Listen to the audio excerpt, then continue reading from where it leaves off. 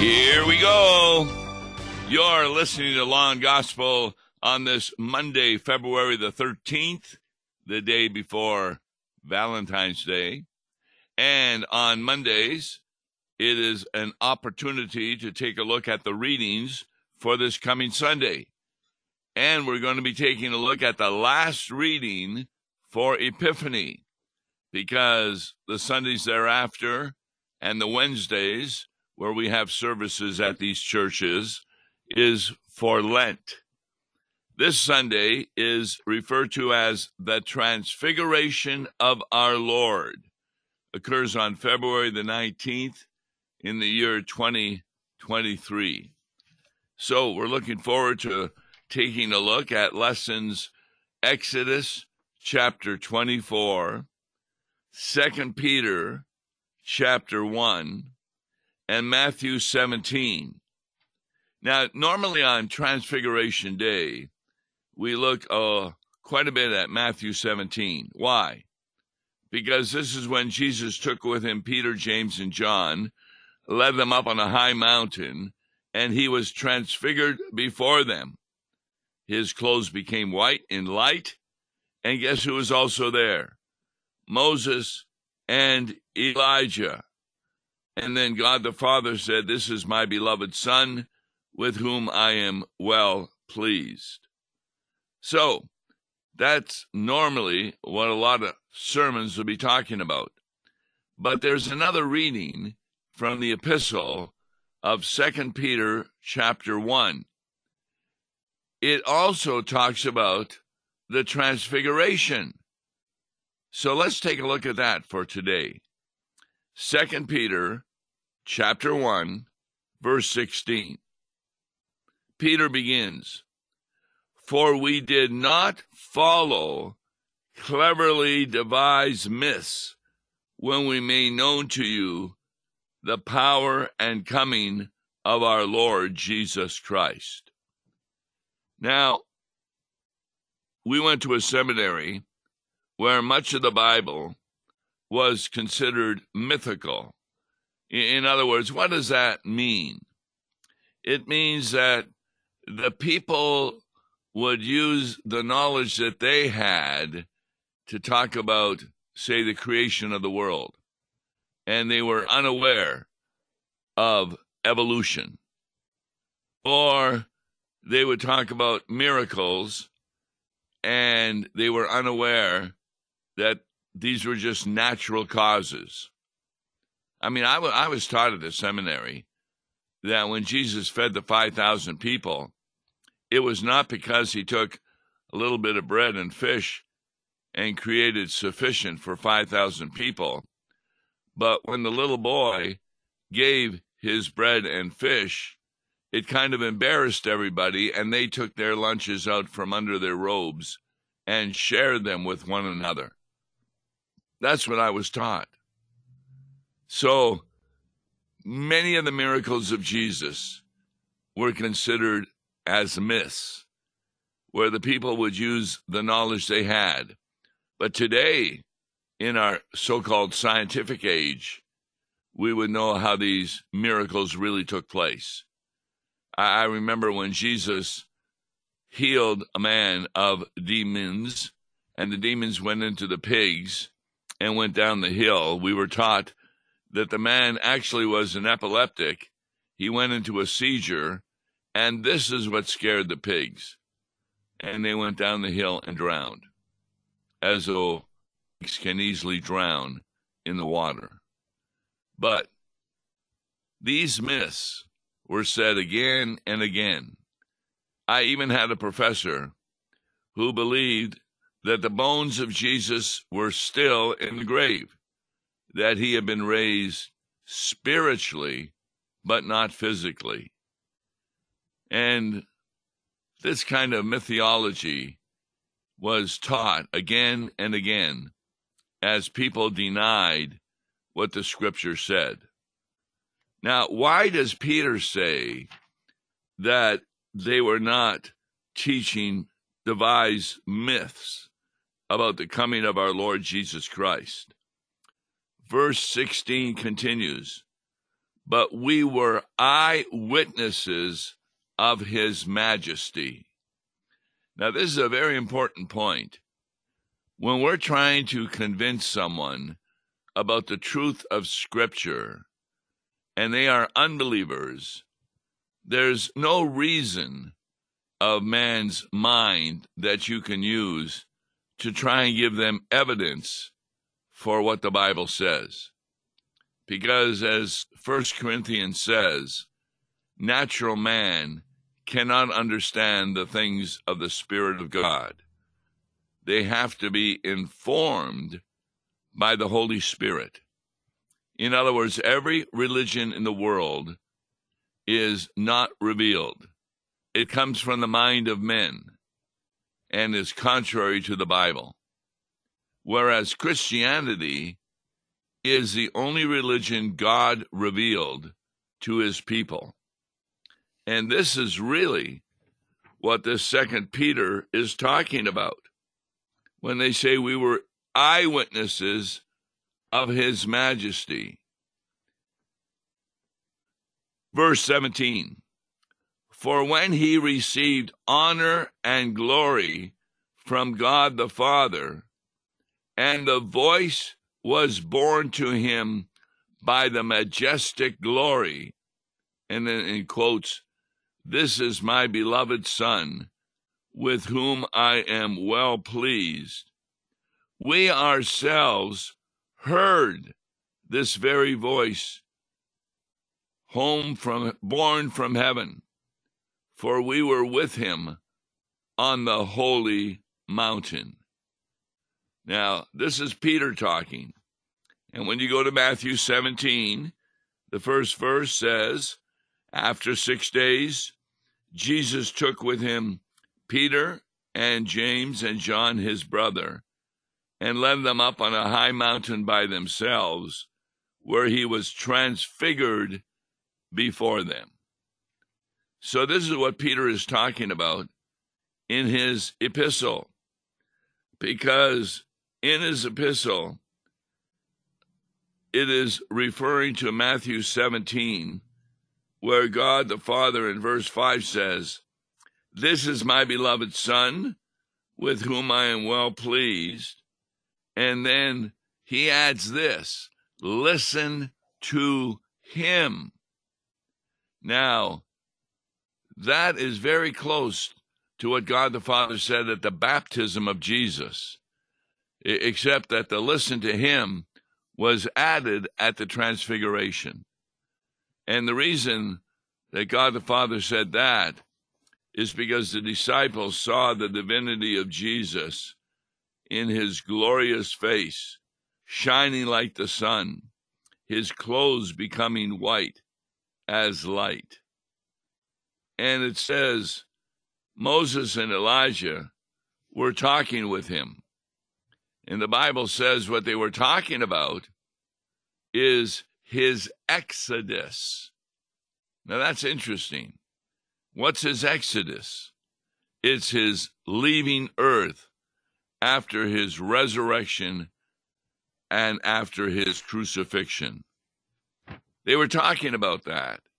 It hadn't happened yet, but they knew it would for two reasons.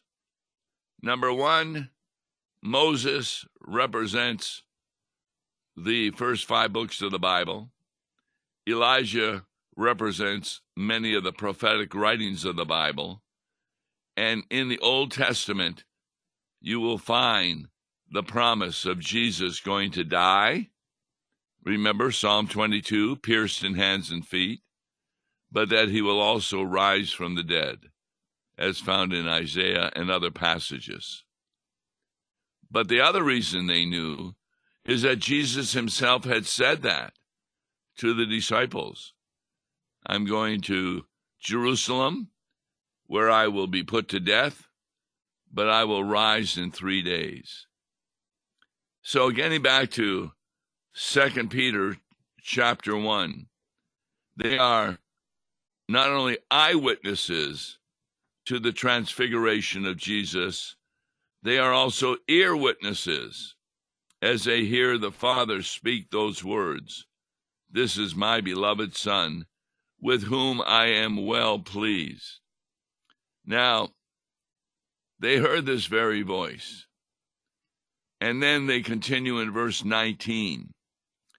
And we have something more sure the prophetic word to which you will do well to pay attention. Now, what are they talking about? They're talking about the prophetic words that Elijah and Moses knew, and particularly that the disciples knew from the mouth of Jesus. Now, they did not understand that. I, I, can prove to you they did not really believe that Jesus would rise from the dead because the disciples were hidden in an upper room after his crucifixion for fear of the Jews. And the women, including his mother Mary, were traveling to the grave on Sunday morning to anoint a dead body, wondering how they were going to roll away the stone from the grave. a stone which had been put there by Joseph of Arimathea and Nicodemus, but then had been affixed somehow with maybe some kind of cement or whatever, so it could not be rolled away.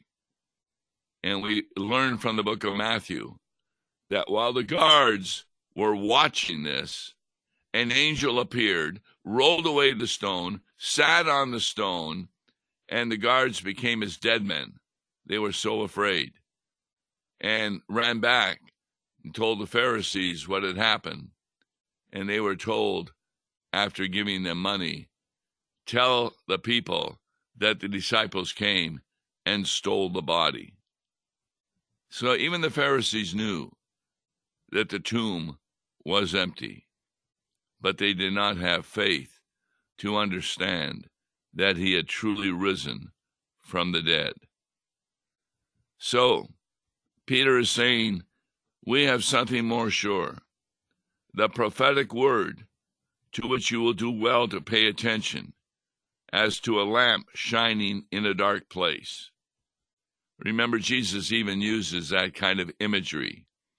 He says, Nobody lights a lamp and then puts it under a bushel so it cannot be seen. No, it's like a city on a hill Everybody can see it, and the lights are on. And Peter says, The day dawns, and the morning star rises in your hearts. Knowing that, first of all, now this is so important, that no prophecy of Scripture comes from someone's own interpretation. In other words, many of the false teachings in religions throughout the world come from man's interpretation of what they believe has happened. But Peter is saying, no, this never is true. The interpretation of Scripture comes from someone else. And who is that someone else? Verse 21 of 2 Peter 2 for no prophecy was ever produced by the will of man.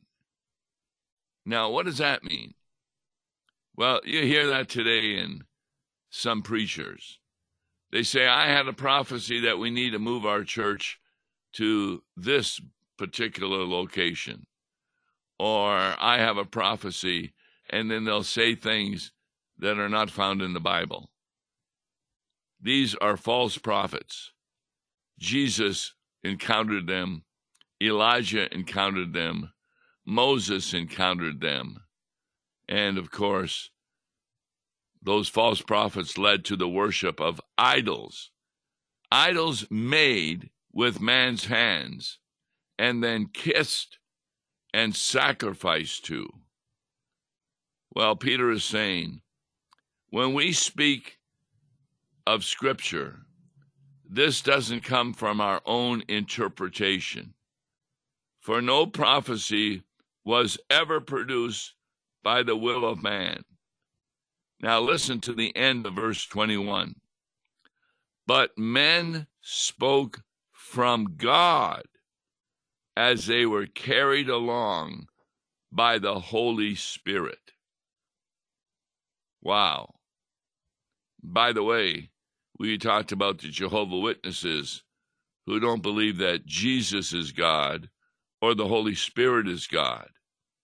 Well, here you have a verse that men were inspired from God, spoke from God, carried along by the Holy Spirit.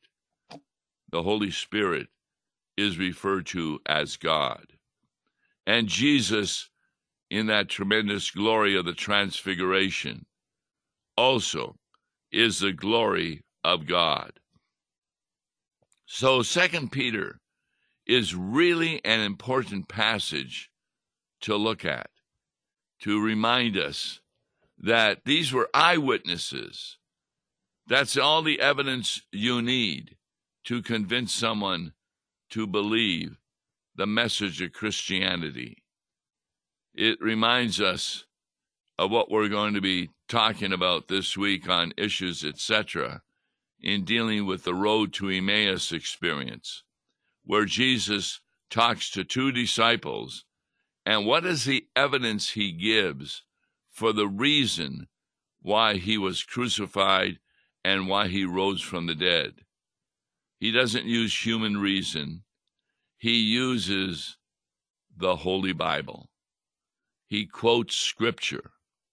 And as he quotes Scripture, the Holy Spirit informs the people that are listening of the joy that they should have because Jesus was crucified for their sins and raised for their justification.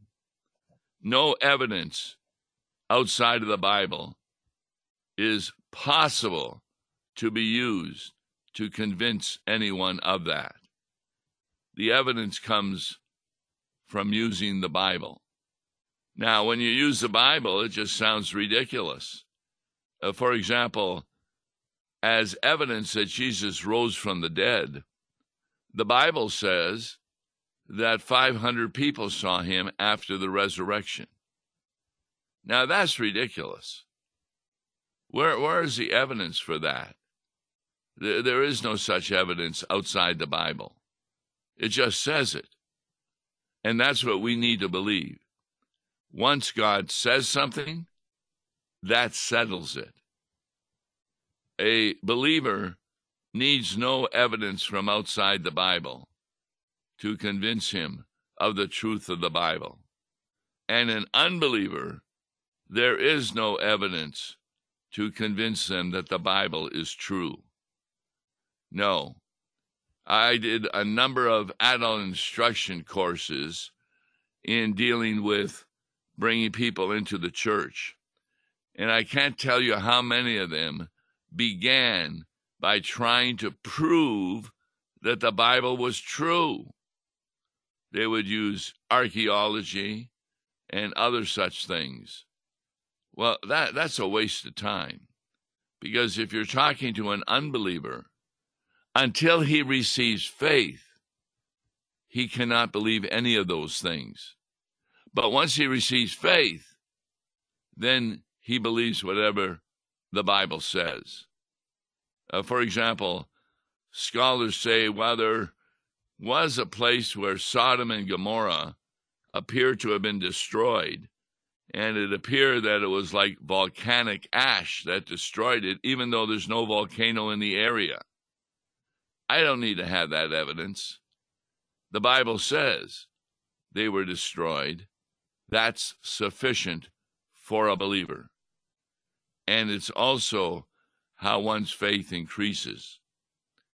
No interpretation of the Bible is given by the will of God, will of man, but instead comes from God Himself.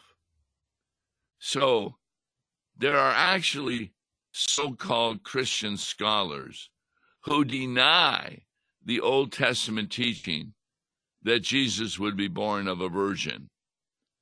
they try and do all kinds of things to get rid of the virgin birth. Even though the New Testament quotes those passages in regard to the birth of Jesus by the Virgin Mary. Once those are quoted, that's God's interpretation. And we don't need to listen to so called scholars who attempt to say, no, there was no teaching of a virgin birth in the Old Testament. Yes, there was. And the New Testament proves it because it interprets that passage to refer to that. There is no interpretation of man that really is true of saying that God created the world in millions of years and that Adam and Eve were two monkeys that God chose. That, that was something also that was taught at the seminary. That's ridiculous. The Bible is very clear. It was six 24 hour days. The, the science that we use is improper science that tries to give us the view of evolution. It just doesn't work. And people will come to know that on the day of judgment. And we pray that their rejection of God's word will not be sufficient enough to not allow them into heaven. But that's really between God and them. So even though on this Transfiguration Day you have Matthew 17, I, I think it's really important to remind us of 2 Peter chapter 1, where Peter says, We were eyewitnesses, we were ear witnesses to the glory of God. I want to say another thing about the Transfiguration. You know, how many individuals appeared on the mountain? Well, there was Peter, there was James and John, and Jesus, that's four. Then God the Father, that's five. And then also Moses and Elijah. So seven persons were on the mountain and one can even include the Holy Spirit because the disciples were convinced of what they were seeing by means of the Holy Spirit. Because it says they spoke from God as they were carried along by the Holy Spirit. But I want to really emphasize that Moses was on the mountain. Now, why am I not emphasizing Elijah? Because the Bible is clear that Elijah was taken up into heaven in chariots of fire. There's no report of his death as happened to many, many people. But there is a report of the death of Moses and even his burial. Now, why am I making a point? Because your loved one is like Moses. Your loved one who has died in the Lord is still alive right now. As Jesus said to Martha when he raised Lazarus from the dead, He who believes in me shall never die. Now, he wasn't referring that your body would not die and be buried. He was referring to your spirit would never die, but immediately be brought to a living relationship with Jesus in heaven until the day of judgment, when your body will be restored to your spirit. The fact that Moses was seen on the Mount of Transfiguration proves that those who have died in the Lord are still alive in life. Now, many of them may be dead because they have chosen hell instead of heaven when God placed before them life and death. And they chose that because they did not believe the eyewitnesses of Scripture. Or they'll say, well, the Bible doesn't make any sense.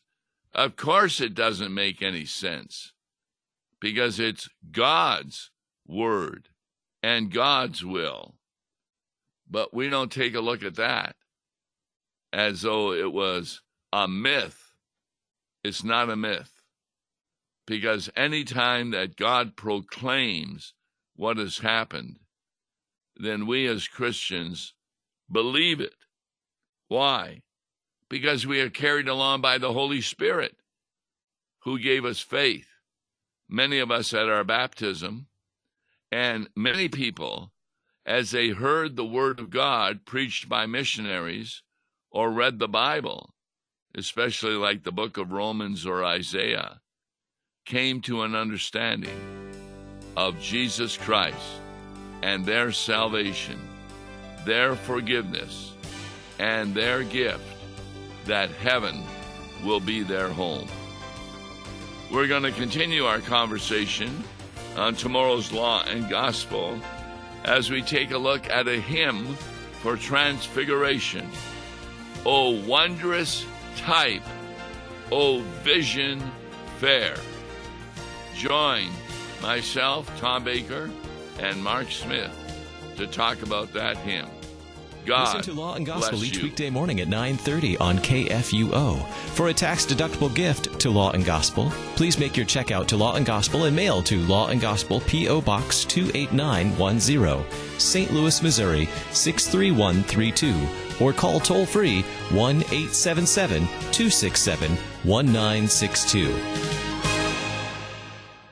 Views and opinions expressed on Worldwide KFUO may not represent the official position of the management or ownership of KFUO, the Lutheran Church Missouri Synod. If you'd like to comment on programs or topics heard on Worldwide KFUO, write us at KFUO, 1333 South Kirkwood Road, St. Louis, Missouri 63122. You can also leave a question or comment on our comment line at 314 996 1542. We are the messenger of good news, Worldwide KFUO.